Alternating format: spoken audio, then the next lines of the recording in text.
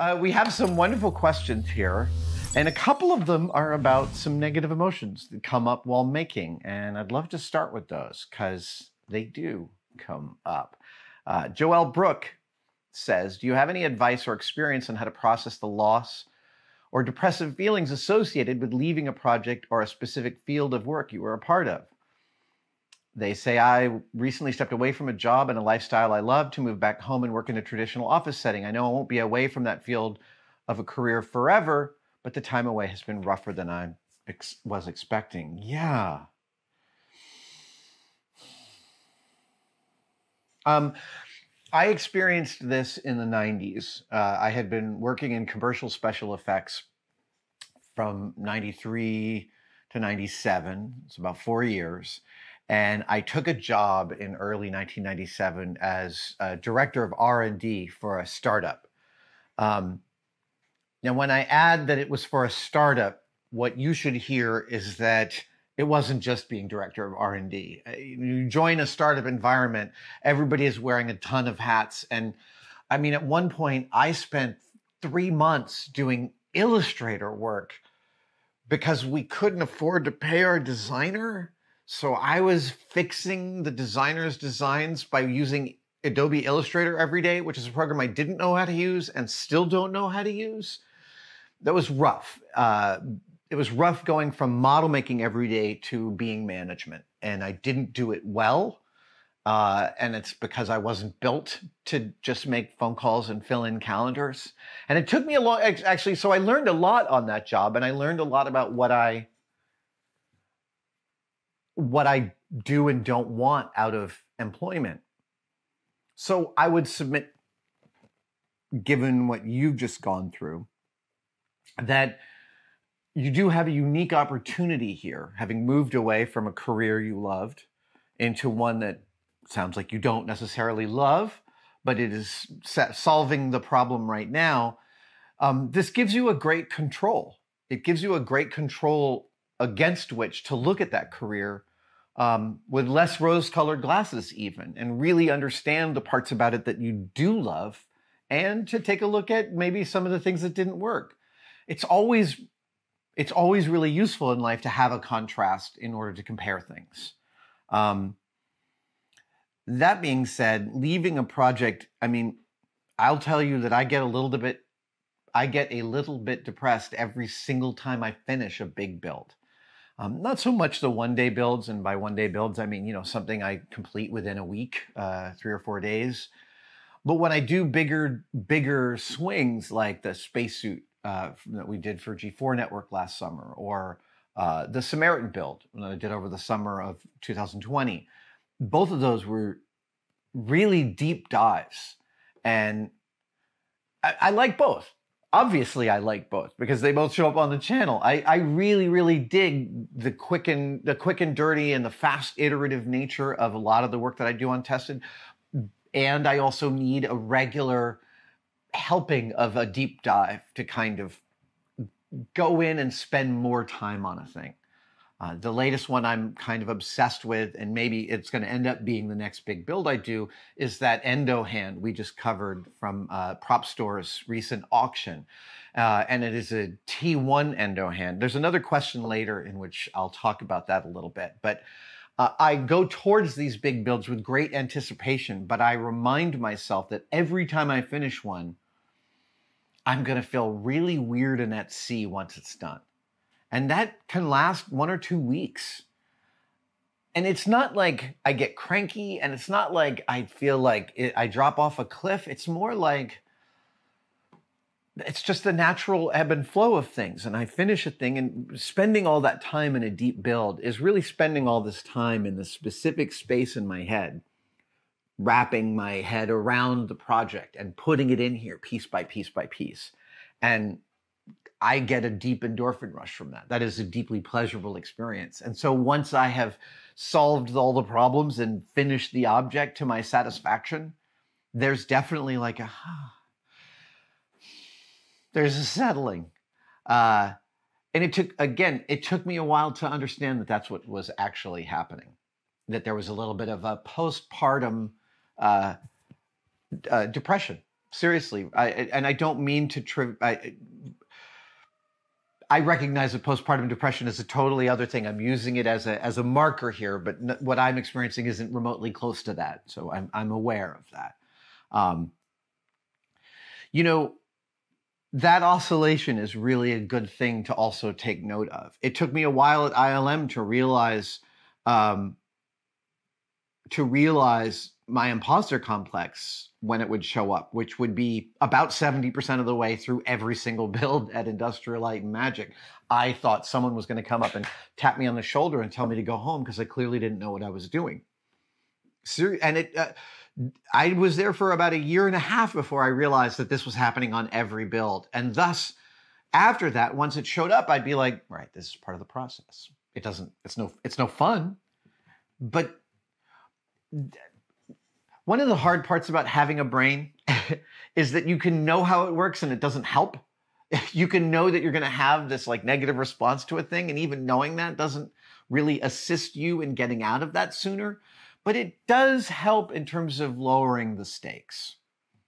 Because before I had that knowledge that after every big build I would have a, a dip, I'd be in that dip and thinking, what is wrong? What is, and I'd be looking for something to be wrong. And that's a very natural response. I don't feel as good as I used to. What is what has changed in my life?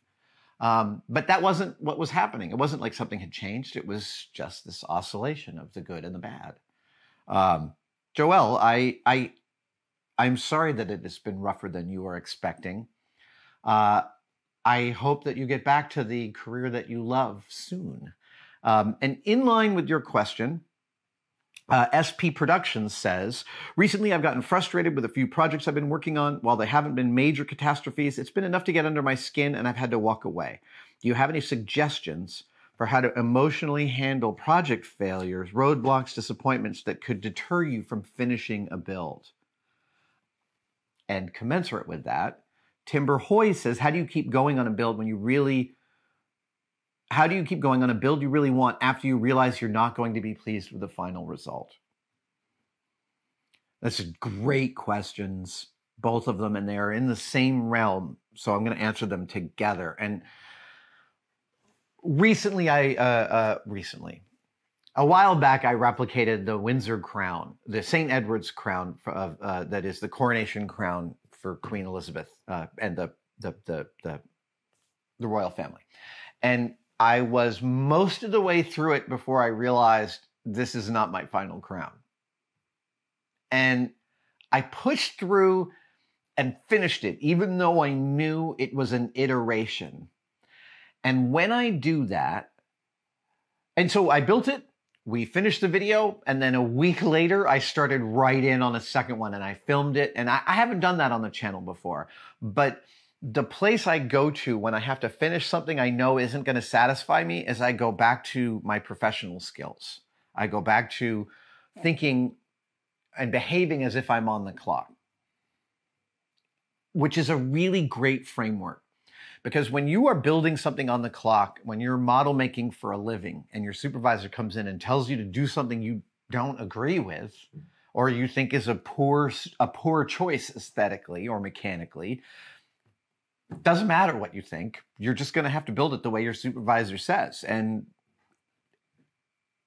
being a professional means you don't take that personally. Um, within reason, I understand. Uh, so thinking like a pro is one of the ways that I push past some of that negativity.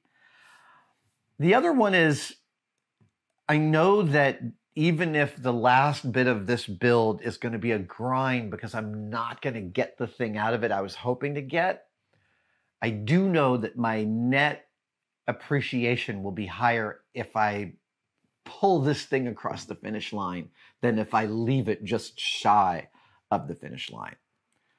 Um, and that's kind of that conversation I like to talk about between me and future me. When I clean my shop at the end of the day, I said this in my book. I am paying honor to future me because I know that tomorrow me, when he walks into the shop, he's going to see the clean shop and be like, "Yeah, let's get to work. This is good." And I may not feel like cleaning up, and I may have to put on some uh, uh, some really good music, like "Party in the USA" or something like that, to just get my energy up to sweep up. But seriously, uh, uh, uh finishing a project is also wrapping something up and bringing it across the finish line so it's done is definitely is is definitely a, a paying honor to future me. Uh, frankly, also when I was most of the way done with that first crown and thinking this isn't going to be the crown I want, it felt like a revelation to realize, well, I I, I could just do it again. Um, that helped. That helped significantly. Uh, and now the old crown sits on top of my video game machine and it is like in pieces because I pulled stuff off of it. I, I gutted it and it wasn't very well made mechanically. So it's sort of sitting there like the island of lost toys. Um, and I also love having that artifact. I, think that I'm going to display it at SiliCon this year because I love displaying, I love showing the iterations to get to a thing. Um, whenever I visit makerspaces, my biggest complaint often my only complaint is that the walls are too clean and that I want to see more messed up 3D prints on the wall. I want to see more iterations of the of the uh, uh, the exercise that someone was attempting to solve. Um, so Timber Hoist, or t- yeah, Timber Hoist says, when I find I don't have the level of skill needed to get an end result I'm happy with, I have a really hard time not just just abandoning the project altogether. Look, I'll be honest, I also abandon projects all the time. Um, and sometimes it's just like, yeah, you just feel like, oh, I don't want to keep on going and fixing my own mistakes. That's definitely a real thing. Um, I have, well, as Tom Sachs says, we are all dying with a to do list. Uh, and I really try and go easy on myself. Uh, my tested team will tell you there's a lot of builds that I said I was going to do next week, and then somehow I never got to, or because I got started and the thing wasn't the way I wanted it to be, or I didn't feel the the juice that I wanted to feel from the build, and I let it go. Um, you know, part of the practice of being a person is to practice going easy on yourself about that kind of thing. We definitely all leave projects by the wayside for all sorts of different reasons. Um, the thing is, you, the good and the bad travel together. There's no way to get one without the other. They exist in contrast. They only exist in relation to each other. That sometimes helps me. Thank you so much for watching. If you'd like to support us even further, you can by becoming a tested member. Uh, details are, of course, below, but it includes all sorts of perks, and we're building them all the time. You get advanced word and behind the scenes photos of some of our projects questions. You get to ask direct questions during my live streams, and we have some members only videos, including the Adam real time series of unbroken, unedited shots of me working here in the shop. They are weirdly meditative. Thank you guys so much. I'll see you on the next one.